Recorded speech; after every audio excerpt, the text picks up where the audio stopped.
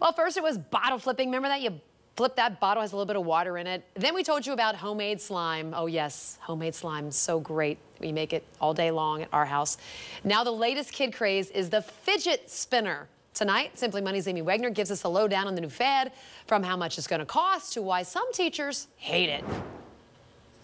I still have bottles of Elmer's glue from that homemade slime that took over the tri-state just a few weeks ago, but nobody cares about that anymore because the newest craze is these fidget spinners. For those parents who have no idea what I'm talking about, here's what your kids will ask for next. A fidget spinner is a gadget about the size of a drink coaster with a bearing in the middle that allows it to spin, and that's what it does. It spins.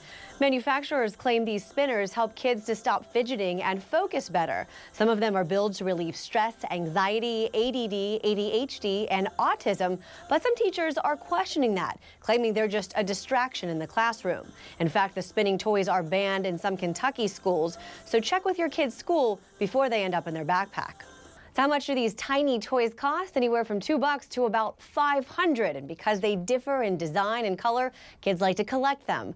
So parents, before you make a major investment in these fidget spinners, remember, the new craze will be out in just a few weeks. For Fox 19 Now and Simply Money, I'm Amy Wagner.